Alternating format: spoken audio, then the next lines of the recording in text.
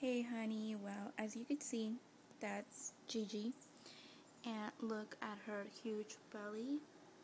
Um, it's getting bigger by the minute.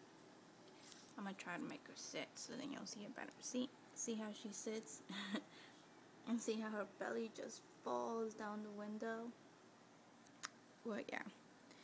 That's your beautiful pup right there and I'm just recording this to let you know, you know, the progress of her. Today's day 47 of her pregnancy.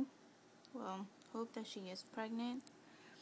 And let's see how it goes. But yeah, look at that belly. It's huge and stuff.